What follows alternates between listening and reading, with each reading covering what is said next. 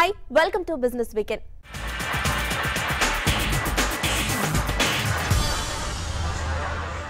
కేంద్ర మంత్రి నిర్మలా సీతారామన్కు ప్రమోషన్ లభించింది. రెండు వేల పదహారు నుంచి రక్షణ మంత్రిగా సేవలందించిన నిర్మలా సీతారామన్ తాజాగా కేంద్ర ఆర్థిక మంత్రిగా నియమితులయ్యారు. దీంతో దాదాపు ఐదు దశాబ్దాల తర్వాత ఈ పదవిని చేపట్టిన రెండో మహిళగా చరిత్ర సృష్టించారు నిర్మలా సీతారామన్.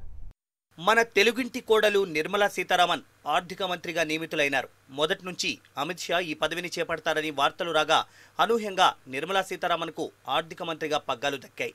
గత ప్రభుత్వంలో ఆర్థిక శాఖలో పనిచేయడం ఆమెకు కలిసొచ్చింది. కార్పొరేట్ వ్యవహారాల శాఖ బాధ్యతలు కూడా ఆవిడే చూడనున్నారు. బీఏ ఎకనామిక్స్తో పాటు మాస్టర్ డిగ్రీని పూర్తి చేసిన నిర్మలా సీతారామన్ లండన్లోని ఓ హోమ్ డెకోర్ కంపెనీలో సేల్స్ గర్ల్గా కెరీర్ ప్రారంభించింది. ఆ తర్వాత ప్రైజ్ వాటర్ హౌస్లో జాయిన్ అయి సీనియర్ మేనేజర్గా కూడా పనిచేసింది.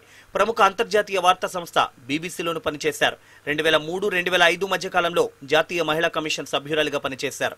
అత్తామామలు కాంగ్రెస్కు చెందిన వారైనప్పటికీ బీజేపీ వైపు ఆకర్షితురాలు కావడానికి ఇది దోహదపడింది. జాతీయ మహిళా కమిషన్ సభ్యురాలిగా ఉండగా ముప్పై మూడు శాతం మహిళా రిజర్వేషన్ విధానానికి బీజేపీ శ్రీకారం చుట్టడం ఆమె రాజకీయ జీవితాన్ని మలుపు తిప్పింది. జాతీయ కార్యవర్గంలో చేరాల్సిందిగా ఆమెను రెండు వేల ఎనిమిదిలో బీజేపీ ఆహ్వానించింది. రెండు వేల పదిలో బీజేపీ అధికార ప్రతినిధి బాధ్యతలు స్వీకరించారు. రెండు వేల పద్నాలుగులో ఆంధ్రప్రదేశ్ నుంచి రాజ్యసభకు ఎంపికయ్యారు. రెండు వేల పద్నాలుగులో మోడీ కేబినెట్లో చేరిన నిర్మల రెండు వేల పదహారులో అత్యంత కీలకమైన రక్షణ శాఖ మంత్రిగా నియమితులైనారు. I, Nirmala do swear in the name of God that I will bear true faith and allegiance ఇక భారత తొలి ప్రధాని ఇందిరాగాంధీకి నిర్మలా సీతారామన్కు మధ్య ఓ సారూప్యత ఉంది. మాజీ ఇందిరాగాంధీ కూడా పంతొమ్మిది వందల డెబ్బైలో ఏడాది పాటు ఆర్థిక మంత్రిగా బాధ్యతలు నిర్వర్తించారు. అలాగే పంతొమ్మిది వందల ఎనభై నుంచి రెండేళ్ళ పాటు ప్రధాని హోదాలో రక్షణ మంత్రిగా ఉన్నారు. ఇక నిర్మలా సీతారామన్ కూడా గత ప్రభుత్వంలో రక్షణ మంత్రిగా సమర్థంగా బాధ్యతలు నిర్వర్తించారు. ఆమె పనితీరుకు మెచ్చిన ప్రధాని మోడీ తాజాగా ఆర్థిక మంత్రిగా నిర్మలాకు పదోన్నతి కల్పించారు.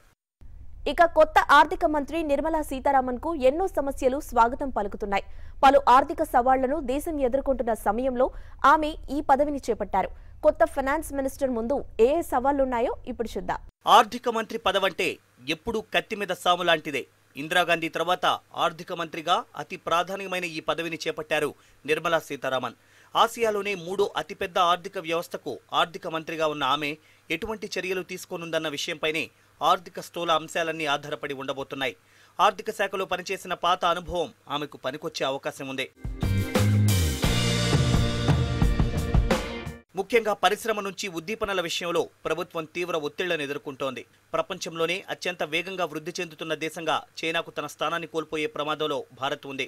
దేశీయ అంతర్జాతీయ వినియోగ గిరాకీ మందగమనం పాలు కావడంతో తయారీ కంపెనీలు ఇబ్బందుల్లో ఉన్నాయి. ప్రభుత్వ రంగ బ్యాంకులకు ప్రభుత్వం హామీ ఇచ్చినట్లుగా మూలధన పునర్నిర్మాణం చేస్తే మొండి బకాయిల సమస్య వెనక్కి వెళ్ళే అవకాశం ఉంది. అయితే గరిష్ట వడ్డీ రేట్లు కొనసాగుతున్న ద్రవ్య కొరత సమస్య ఆర్థిక పురోగతికి అవరోధంగా మారాయి. దీంతో జీడీపీని మళ్ళీ పరుగులు పెట్టించి ఎనిమిది శాతానికి చేర్చడం కొత్త ఆర్థిక మంత్రికి కత్తి మీద సాము కానుంది. గత ఆర్థిక సంవత్సరానికి పన్ను వసూళ్ళ ఆదాయం అంచనాల కంటే తగ్గింది. ప్రైవేట్ రంగంలో పెట్టుబడుల మందగమనం నేపథ్యంలో ఆర్థిక వ్యవస్థకు ఊతమిచ్చేందుకు ప్రభుత్వం సామాజిక రంగాల్లో భారీగా పెట్టుబడులు పెట్టింది. వ్యయాలకు తగ్గ స్థాయిలో పన్ను ఆదాయాన్ని పెంచుకోవడం ద్రవ్య లోటును లక్ష్యం మేరకు నియంత్రించడం ప్రభుత్వానికి మరో అతిపెద్ద సవాలుగా పరిణమించిందని మార్కెట్ నిపుణులు అభిప్రాయపడుతున్నారు. ఆది నుంచి విమర్శలు ఎదుర్కొంటున్న జీఎస్టీతో పాటు ఎన్నికల్లో ఇచ్చిన పలు హామీలతో ప్రభుత్వంపై భారీగా భారం పడనుంది. ఒక్క ప్రధానమంత్రి కిసాన్ సమ్మాస్ నిధి పేరుతో ప్రవేశపెట్టిన పథకంతో ప్రభుత్వంపై ఏటా డెబ్బై ఐదు వేల కోట్ల రూపాయల భారం పడుతుంది. దీనికి తోడు మిగతా వర్గాలను ప్రసన్నం చేసుకునేందుకు ఇతర పథకాలకు కూడా నిధులను కేటాయించడం కూడా కొత్త ఫైనాన్స్ మినిస్టర్ ప్రధాన సవాళ్ళని మార్కెట్ నిపుణులు అంచనా వేస్తున్నారు. జీఎంఎస్ఏ ఫిట్నెస్ అకాడమీ ఆధ్వర్యంలో హైదరాబాద్లో ప్రమోషనల్ ఈవెంట్ జరిగింది. బాగ్లింకంపల్లిలోని సుందరయ్య కళాక్షేత్రంలో జరిగిన ఈ కార్యక్రమానికి ప్రముఖ ఫిట్నెస్ ట్రైనర్ గురుమాన్ హాజరయ్యారు. యువతలో న్యూట్రిషన్ ప్రాముఖ్యతను తెలియజేసేందుకు లక్నో ఢిల్లీ జైపూర్ బెంగళూరు ముంబైతో పాటు దేశవ్యాప్తంగా ఇలాంటి కార్యక్రమాలను నిర్వహించినట్టు గురుమాన్ తెలియజేశారు. ఇతర దేశాలతో పోలిస్తే ఆరోగ్య ప్రమాణాలు పాటించడంలో ఇప్పటికీ భారతీయులు ఎంతో వెనకబడి ఉన్నారని మిషన్ ఇండియా ఫిట్నెస్లో భాగంగా ఇలాంటి కార్యక్రమాలను నిర్వహించాల్సిన అవసరం ఎంతో ఉందని ఆయన తెలియజేశారు.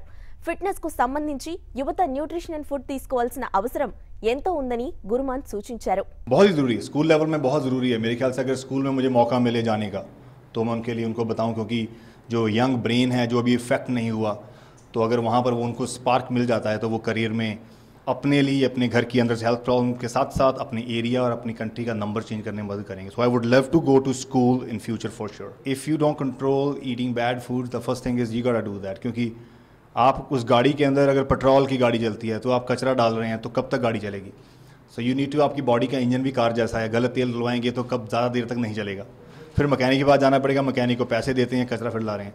जब आपकी बॉडी के अंदर ऐसा होने लगे तो आप डॉक्टर के पास जाते हैं डॉक्टर मैकेनिक है। तो वो आपका दवाई देता है, फिर ठीक होते हैं फिर वही कर रहे हैं। तो ये सिस्टम आपका चलता जाएगा और आपकी लाइफ कम होती जाएगी। बाहर से आप, आपकी एज यंग आप यंग हैं, लेकिन अंदर से आप दस गुना, आपकी एज ज़्यादा बढ़ क्यों? जो क्वालिटी न्यूट्रंस आपकी बॉडी को चाहिए परफॉर्म करने के लिए, वो मिल नहीं रहे और आप गलत चीज़ प्रोवाइड कर रहे हैं। तो मेरे ख्याल से उन लोगों के लिए यही है कि जस्ट अंडरस्टैंड कि अभी आप अपनी गाड़ी में गलत तेल डलवा कर देखना, क्यों नहीं डालते? फिर अपनी अपनी गाड़ी जो है, जिसकी सौ साल की उम्र है, आपके अंदर का इंजन, उसमें क्यों गलत तेल डलवा रहे हैं? यार वो भी सोचिए, नुकसान कर रहा है आपको, आपकी उम्र आधी हो गई है। जस्ट ईट हेल्दी पहला काम है जिम नहीं जा सकते, कोई बात नहीं, ये बात का बात है। किचन के अंदर आप सही फ़ूड खाएँ आ, उसके बाद वॉक करें वही इंडिया जो पहले मॉर्निंग वॉक पर विश्वास करता रहा था क्यों ना वो करें? This to the first thing is start walking शाम को या सुबह और उसके बाद जिम जा सकते हैं तो बेटर है अगर बहुत ज़्यादा पोल्यूशन है आपके एरिया में जिम चूज़ करें बचेंगे उससे। तो मेरा ये है कि सही खाएँ सही टाइम से उठना सोना ये बहुत सेपरेट चीज़ें हैं कि अगर आप दिन के अंदर सही अपनी बॉडी को चीज़ देंगे तो ठीक रहेंगे हेल्दी रहेंगे। अगर आप हेल्दी रहेंगे तो मेरी मेहनत कम रहेगी। मेरी मेहनत कम रहेगी आप हेल्दी करते जाएंगे आपके साथ साथ दस बंदे और इंस्पायर होंगे आपकी आने वाली जनरेशन जो आपके बच्चे क्योंकि आप सुपर हीरो हो ये सुपर फादर ये सुपर मदर तो बच्चे आपसे सीखेंगे अगर बच्चे को आपको आप सीखेंगे आपने सही किया हो बच्चा आपसे इंस्पायर होगा तो आप अपनी आने वाली जनरेशन को इंस्पायर करेंगे इंडिया ठीक आप हेल्दी सब कुछ హైదరాబాద్ రోడ్లపై దూసుకుపోయేందుకు సిద్ధమైంది TVS Apache RR three ten super bike race tune slipper clutch టెక్నాలజీతో వచ్చిన ఈ బైక్ హైదరాబాద్లో లాంచ్ అయింది. ఫాంటమ్ బ్లాక్ కలర్తో చూడగానే స్పీడ్ లవర్స్కు కిక్ ఇచ్చేలా ఉంది ఈ బైక్. బండి స్థిరత్వాన్ని మరింత పెంచుతూ ముఖ్యంగా కార్నర్స్లో కూడా స్పీడ్ తగ్గకుండా దూసుకుపోయేలా డిజైన్ చేశారు ఈ అపాచీ ఆర్ఆర్ త్రీ టెన్ బైక్ని ఇప్పటికే అపాచీ బైక్ను కలిగి ఉన్న వాళ్ళు కూడా ఈ టెక్నాలజీని వినియోగించుకోవచ్చు. దీని అదనపు యాక్సెసరీస్గా తక్కువ ధరకే అందుబాటులోకి తెస్తున్నామని టీవీఎస్ యాజమాన్యం వెల్లడించింది. హైదరాబాద్ ఎక్స్ షోరూం ధర రెండు పాయింట్ రెండు సున్నా లక్షలుగా నిర్ణయించింది.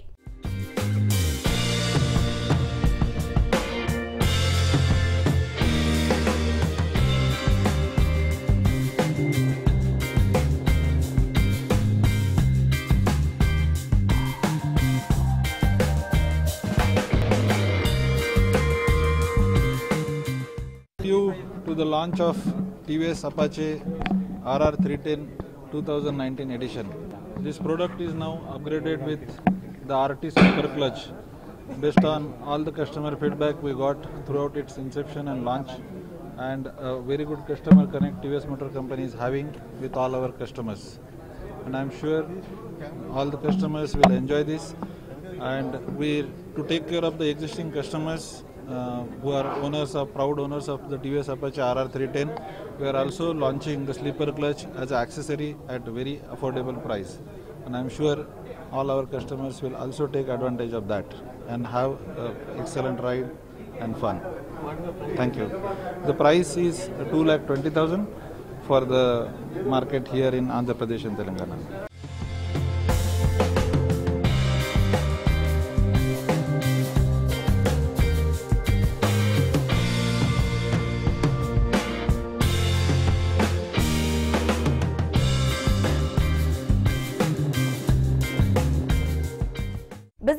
business ఇప్పుడు బ్రేక్ తీసుకుందాం. బ్రేక్ తర్వాత వచ్చే వారం మార్కెట్ ట్రెండ్ ఎలా ఉండొచ్చు? అలాగే మీడియం టర్మ్ కోసం Karvy fundamental analyst Aravind special recommendations చూద్దాం.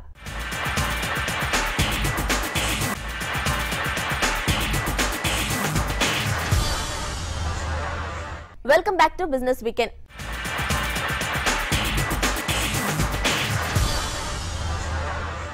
తీవ్ర ఒడిదుడుకుల మధ్య ఈ వారం దేశీయ మార్కెట్లు లాభాలతో ముగిశాయి.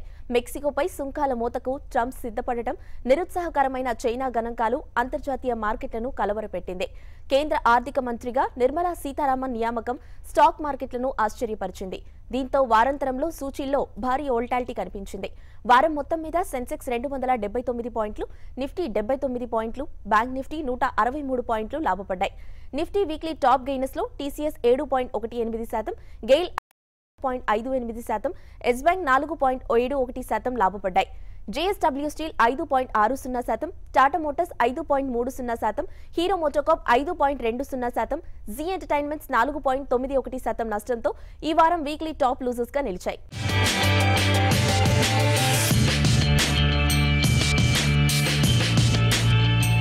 ఇక ఈ వారం స్టాక్ మార్కెట్లపై విశ్లేషణ అలాగే మీడియం టర్మ్లో ఏ స్టాక్స్ను కొనుగోలు చేయొచ్చు అన్న అంశంపై కార్వీ ఫండమెంటల్ అనలిస్ట్ అరవింద్ విశ్లేషణను ఇప్పుడు చూద్దాం. ఒక అన్సర్టనిటీ తొలగిపోయిందండి. మనకి పొలిటికల్గా ఏదైతే అన్సర్టనిటీ ఇంతకాలం ఒక గత సిక్స్ మంత్స్ నుంచి మనకి ఏదైతే అన్సర్టనిటీ వోల్టిలిటీ మార్కెట్లో కనపడిందో అదంతా తొలగిపోయిందని చెప్పుకోవచ్చు అండి with clear mandate NDA coming to power so ఇప్పుడు ఎన్డీఏ టూ పాయింట్ ఓ అన్న టైప్లో డిఫైన్ చేయొచ్చండి మన గవర్నమెంట్ని ఒకటండి ఎన్డీఏ మనకి ఇంతకుముందు పవర్లోకి వచ్చినప్పుడు కూడా వాజ్పేయి హ్యామ్లో కానివ్వండి two thousand fourteen to nineteen కానివ్వండి ఇన్ఫ్రాస్ట్రక్చర్ మీద ఫోకస్ మాత్రం అలాగే కొనసాగిందండి. They understood the importance of infrastructure అని మనం అర్థం చేసుకోవచ్చు. సో ఓవరాల్గా ఇప్పుడు కూడా వాళ్ళ పోల్ మేనిఫెస్టోలో almost hundred trillion rupees investment in next five years ఒకటి ప్రామిస్ చేశారు. Which is a good thing అండి. సో అక్కడ కూడా ఆపర్చునిటీ సైజ్ చాలా పెరుగుతుంది. అండ్ ప్లేయర్స్ కూడా అక్కడ ఎవరైతే ప్లేయర్స్ ఉన్నారో ఇన్ఫ్రా ప్లేయర్స్ ఎవరైతే ఉన్నారో వాళ్ళందరికీ కూడా ఇది ఒక పాజిటివ్ అంశం లాగా అనుకోవచ్చండి. Sixty thousand kilometres of national highways కొత్తగా బిల్డ్ చేస్తామని చెప్పారు. Which is like almost nine lakh crores opportunity అని చెప్పుకోవచ్చండి. సో రోడ్ ప్లేయర్స్ అయినా కేఎన్ఆర్ కానివ్వండి అశోక బిల్కాన్ కానివ్వండి వీళ్ళందరికీ కూడా అండ్ దిలీప్ బిల్కాన్ కానివ్వండి వీళ్ళందరికీ కూడా పిఎన్ఆర్ ఇన్ఫ్రా కానివ్వండి వీళ్ళందరికీ కూడా ఇది ఒక పాజిటివ్ అంశం లాగా అనుకోవచ్చండి. So next five years nine lakh క్రోడ్స్ని మనం డివైడ్ చేసుకున్నా కూడా opportunity size almost one and half lakh crores for each year అన్న టైప్లో వస్తుందండి. అంటే నెంబర్స్ పరంగా అండ్ ఎకానమీ పరంగా మనం కొద్దిగా వీక్ జోన్లో ఉన్నామండి compare to two thousand fourteen fifteen situation కంటే. మనకి గ్రాస్ ఫిక్స్డ్ క్యాపిటల్ ఫార్మేషన్ ఏదైతే అంటామో అది కొద్దిగా తగ్గడం చూసామండి. థర్టీ టూ పర్సెంట్ వరకు రావడం చూసాం. యాక్చువల్గా మనకి టూ థౌసండ్ ఫోర్ ఫైవ్లోనే ఇది ఒక thirty five thirty one percent దాకా ఉండింది. సో ఈ ప్లాటూయింగ్ ఆఫ్ జిఎఫ్సిఎఫ్ కొద్దిగా ట్రబుల్సమ్ అని చెప్పుకోవచ్చండి. మనకి గవర్నమెంట్ నుంచి స్పెండింగ్ వస్తుంది కానీ ప్రైవేట్ ప్రైవేట్ స్పెండింగ్ మాత్రం తగ్గిందని చెప్పుకోవచ్చు. సో ఇప్పుడు ఆల్రెడీ ఇంక్రీజ్ రిఫార్మ్స్తో వస్తున్నారు ఇంక్రీజ్ ఇన్వెస్ట్మెంట్స్తో గవర్నమెంట్స్ వస్తున్నాయి కాబట్టి డెఫినెట్లీ ఇక్కడ ప్రైవేట్ ఇన్వెస్ట్మెంట్స్ uh, కూడా పెరగాల్సిన అవసరం కనబడుతుంది. This is one thing the government should focus అని చెప్పుకోవచ్చు అండి. Stocks will return to their fundamentals అండి. Stock price versus earnings growth అనే టైప్లో ఫైనల్గా వచ్చేస్తాయండి. సో ఇప్పటి నుంచి కూడా వోల్టిలిటీ తగ్గింది కాబట్టి అండ్ స్టేబుల్ మార్కెట్స్లో ఉన్నాం కాబట్టి ఈకానమీ దగ్గర నుంచి మనకు పాజిటివ్ సిగ్నల్స్ రావాలండి. దాంతోపాటు కంపెనీస్ దగ్గర కూడా నెంబర్స్లో ఇది ఒకటి రిఫ్లెక్ట్ అవ్వాలి. So PAT growth or net profit growth కానివ్వండి ఎర్నింగ్స్ గ్రోత్ అని అంటాం కదా వీటన్నిటిలో కూడా ఇంప్రూవ్మెంట్ అనేది కనబడాలి. సో ఈ ఇంప్రూవ్మెంట్ కనబడినప్పుడే మార్కెట్స్ అనేది ఆ స్టాక్ ప్రైస్ అనేది రియాక్ట్ అవ్వడం అనేది మనం ఇప్పటి నుంచి చూడగలుగుతాం. ఓవరాల్గా చూసుకుంటే ఈ బ్రాడ్ బేస్డ్ ర్యాలీ రావాలండి. సో అందుకని ఎఫ్ఐ ఇన్ఫ్లో ఎఫ్ఐ మనీ కూడా మిడ్ అండ్ స్మాల్ క్యాప్స్లోకి రావాలి కాబట్టి ఎర్నింగ్స్ ఇంప్రూవ్మెంట్ అనేది దానికి దోహదపడుతుందండి. అండ్ మార్జిన్స్లో ఇంప్రూవ్మెంట్ అండ్ రిటర్న్ రేషియోస్లో ఇంప్రూవ్మెంట్ ఉండాలి కాబట్టి ఓవరాల్గా ఫైనాన్షియల్ స్ట్రెంత్ కనబడాలి. బ్యాలెన్స్ షీట్స్ హెల్తీగా అవ్వాలండి మిడ్ అండ్ స్మాల్ క్యాప్స్లో అప్పుడు మాత్రమే ఎఫ్ఐ ఫ్లోస్ వస్తుంది which is a smart money అని చెప్పుకోవచ్చు అండి సో ఓవరాల్గా చూసుకుంటే లార్జ్ క్యాప్స్ కొద్దిగా రిచ్ వాల్యుయేషన్లో కనబడుతున్నాయి మిడ్ క్యాప్స్ వాల్యూ జోన్లో కనబడుతున్నాయి. సో ఇప్పుడు ఫైనాన్షియల్గా ఇంప్రూవ్మెంట్ కనబడితే they will coming to the picture మనం డెఫినెట్లీ చెప్పుకోవచ్చు అండి పిఎస్బి కన్సాలిడేషన్ ఒకటి మనకి మళ్ళీ సెకండ్ రౌండ్ ఆఫ్ కన్సాలిడేషన్ అనుకోవచ్చు అండి బ్యాంక్ ఆఫ్ బరోడా మెర్జర్ తర్వాత పిఎన్బితో స్టార్ట్ చేద్దాం అనుకుంటున్నారు. ఇంతకుముందు మెగా ఏదైతే ఎస్బీఐతో చేశారో మెజా మెగా మెర్జర్ అది కొద్దిగా టఫ్ అవుతుంది కాబట్టి in terms of synergy work out కానివ్వండి ఆ ప్రాసెస్ సింప్లిఫై చేయడం కానివ్వండి. సో ఈ కొద్దిగా చిన్న సైజులోనే లైక్ బిఓబితో చేసినట్టు అలాంటి మెర్జర్సే ఉండబోతున్నాయండి. Maybe two to three banks merge అవ్వడం ఒక బ్యాంక్లోకి like you know Andhra bank and PNB ఇప్పుడు ఏదైతే లైమ్ లైట్లో ఉందో. సో ఇలాంటి మెర్జర్స్ మాత్రం ఇంకొక రెండు చూసే అవకాశం కనబడుతుంది ఎఫ్ఐ ట్వంటీలో కాకపోతే లిక్విడిటీ కన్సర్న్స్ ఇంకా కొనసాగుతున్నాయండి. అది మనకి క్రెడిట్ గ్రోత్ పైన ఎఫెక్ట్ కనబడుతుంది. Though private banks credit growth హెల్దీగా ఉన్నా పిఎస్యూ బ్యాంక్ నుంచి ఆ గ్రోత్ కనబడట్లేదు. దాంతోపాటు ఎన్బిఎఫ్సిస్ కూడా లెండింగ్ స్టాప్ చేశాయి కాబట్టి క్రెడిట్ గ్రోత్ కొద్దిగా ఈజ్ ఆఫ్ అయిపోయిందని చెప్పుకోవచ్చు అండి అది మనకి కొద్దిగా తగ్గడం చూస్తున్నాం. ఈ ఎఫెక్ట్ అనేది మనకి ఎంఎస్ఎంఈ సెక్టర్లో కొట్టొచ్చినట్టు కనబడుతుంది. They are finding it difficult to refinance the loans అండి. ఇప్పుడు ఇంతకు ముందున్న లోన్స్ రీఫైనాన్స్ చేయడం కానివ్వండి కొత్తగా లోన్స్ తీసుకోవడం కానీ వాళ్ళకి టఫ్ అవుతుంది కాబట్టి ఇదొకటి అడ్రస్ చేయాల్సిన అంశం లాగా మనం చెప్పుకోవచ్చు అండి ఓవరాల్గా చూసుకుంటే వీఆర్ అన్న టైట్ స్పాట్ అని చెప్పుకోవచ్చు అండి సో గవర్నమెంట్ ఎలాంటి యాక్షన్ తీసుకుంటుంది? ఈ బడ్జెట్లో ఎలాంటి అంశాలు పొందుపరచబోతున్నారు. అండ్ ఎలాంటి సెక్టర్స్ ఫోకస్లో ఉండబోతున్నాయి అనేది కీలకం కాబోతుందండి next two to three years down the line చూసుకుంటే. ఒకటి ఏంటంటే మనకి ఆటో సేల్స్ ఇంకా అలాగే కొద్దిగా సబ్జ్యూడ్ లెవెల్స్లో కొనసాగుతున్నాయి. సో ఏదైనా పాలసీ ఉంటుందా దానికి? ఏదైనా పుష్ ఉంటుందా? ఎలక్ట్రిక్ వెహికల్స్ కానివ్వండి ఏదైనా ఎన్వైరన్మెంటల్ ఫ్రెండ్లీ రెగ్యులేషన్స్ దగ్గర ఏదైనా ఇన్పుట్ ఉంటుందా అనేది కొద్దిగా కీలకం కాబోతుంది బడ్జెట్లో అలాంటి అంశాలు కూడా మనము చూడాల్సిన అవసరం అయితే కనబడుతుంది ఓవరాల్గా ఇన్ఫ్రాస్ట్రక్చర్కి ఎలాంటి అలొకేషన్ ఉండబోతుంది బడ్జెట్లో అనేది కీలకం కాబోతుంది. అండ్ దాంతోపాటు rural economy input and improvement గురించి ఎలాంటి పాలసీస్ అండ్ ఎలాంటి రీఫార్మ్స్ తీసుకురాబోతున్నారు ఎలాంటి డీప్ రీఫార్మ్స్ తీసుకుపోతున్నారు అనేది కీలకం కాబోతుందండి. Next two to three years down the line చూసుకుంటే. ఓవరాల్ ఇలాంటి సెక్టర్లో కొద్దిగా ఇన్ఫ్రా ఫోకస్ ఉన్న స్టాక్స్ని మనం ఫోకస్ చేస్తే బాగుంటుందండి. ఆ కపుల్ ఆఫ్ రికమెండేషన్స్ మనం చెప్పామండి ఇన్ఫ్రాస్ట్రక్చర్ మీద హండ్రెడ్ ట్రిలియన్ రూపీస్ ఇన్వెస్ట్మెంట్ రాబోతుంది నెక్స్ట్ ఫైవ్ ఇయర్స్లో అని దాంట్లో ఒక సెగ్మెంట్ అండి రైల్వేస్ అండ్ ట్రాన్స్మిషన్ కూడా. ఈ ట్రాన్స్మిషన్ బిజినెస్లో రైల్వేస్ కూడా ఎక్స్పోజర్ ఎక్కువగా ఉంటుందండి. రెండు స్టాక్స్ మనం రికమెండ్ చేయబోతున్నాం. ఒకటి కేఈసీ ఇంటర్నేషనల్ త్రీ హండ్రెడ్ లెవెల్స్లో ట్రేడ్ అవుతుందండి. ఫోర్ హండ్రెడ్ రూపీస్ టార్గెట్ ప్రైస్తో బై చేసుకోవచ్చు. ఎందుకంటే మల్టిపుల్స్ కూడా హెల్తీగా కనబడుతున్నాయి. దే ఆర్ సిట్టింగ్ అండ్ మంచి హెల్దీ ఆర్డర్ బుక్ మీద ఉన్నారండి. అండ్ ఇంతకుముందు transport and transmission and distribution కూడా కొద్దిగా అండర్ పర్ఫామ్ చేసింది గత సంవత్సరం నుంచి. ఇప్పుడు అది కూడా లైమ్ డౌట్లో రాబోతుంది. అండ్ దాంతోపాటు బ్రెజిల్ సార్క్ దేశాల నుంచి కూడా వీళ్ళకి ఇన్పు ఆర్డర్స్ uh, రాబోతున్నాయి కాబట్టి కేఎస్ ఇంటర్నేషనల్ బై చేసుకోవచ్చండి. ఫోర్ హండ్రెడ్ రూపీస్ టార్గెట్ ప్రైస్తో. అండ్ దాంతోపాటు కల్పతరు పవర్ కూడా చాలా హెల్తీగా కనబడుతుందండి. ఒకటి వాళ్ళ కొద్దిగా బ్యాలెన్స్ షీట్ పైన డెట్ ప్రెషర్ కనబడేది. సో బీఓటీ ప్రాజెక్ట్స్ ఏదైతే ఉందో వాళ్ళు సేల్ చేయాలి అని అసెట్ మానిటైజేషన్ ఫోకస్తో ఉన్నారు కాబట్టి డెఫినెట్లీ ఇంప్రూవ్ అవుతాయండి. మార్జిన్స్ కానివ్వండి. డెట్ లెవెల్స్ కూడా డిక్రీజ్ అవుతాయి. దాంతోపాటు రిటర్న్ రేషియోస్ ఇంప్రూవ్ అయ్యే అవకాశం కనబడుతుంది. వీళ్ళ సబ్సిడరీస్ కూడా జేఎంసీ అండ్ శుభం లాజిస్టిక్స్ కూడా కొద్దిగా పాజిటివ్ పర్ఫార్మెన్స్ చూపిస్తున్నాయి అండ్ బ్రేక్ ఈవెన్కి వచ్చే అవకాశం కనబడుతుందండి. సో ఓవరాల్గా చూసుకుంటే ఇది కూడా లెవెన్ మల్టిపుల్లో ట్రేడ్ అవుతుంది. ఫిఫ్టీన్ మల్టిపుల్లో మనం ఇచ్చుకున్నా కూడా fourteen thousand crores order book మీద ఉన్నారండి. హెల్దీ ఆర్డర్ బుక్స్ వస్తున్నాయి. అండ్ ఇవన్నీ దృష్టిలో పెట్టుకుంటే సిక్స్ హండ్రెడ్ రూపీస్ టార్గెట్ ప్రైస్తో బై చేసుకోవచ్చు అండి కల్పతరు పవర్ ట్రాన్స్మిషన్ మార్కెట్లకు ఇది గోల్డెన్ టైం బీజేపీ సంపూర్ణమైన మెజారిటీతో సొంతంగానే ప్రభుత్వాన్ని స్థాపించే సత్తాను సాధించుకుంది. మోడీ టూ పాయింట్ రెట్టించిన ఉత్సాహంతో ఆర్థిక వ్యవస్థను పరుగులు తీయించేందుకు సమాయత్తమవుతున్నారు. దీంతో రాబోయే రెండు మూడేళ్ళ కాలం స్టాక్ మార్కెట్లకు నిజంగా గోల్డెన్ డేస్. ఈ సమయంలో క్వాలిటీ ఉన్న mid cap small cap large cap స్టాక్స్ను ఎంపిక చేసుకొని పోర్ట్ఫోలియోను నిర్మించుకుంటే తిరుగుండదు. ఇందులో భాగంగానే మీ అందరి కోసమే TV five profit your trade dot in మళ్ళీ విజయవాడలో ఒకరోజు వర్క్ షాప్ను నిర్వహించబోతోంది. ఒకే రోజులో పూర్తిగా టెక్నికల్ ఫండమెంటల్స్ను ఎర్న్లిస్ట్లో ఇందులో వివరించబోతున్నారు. వీటితో పాటు అందరూ ఎదురు చూసే రికమెండేషన్స్ను కూడా అందించబోతున్నారు.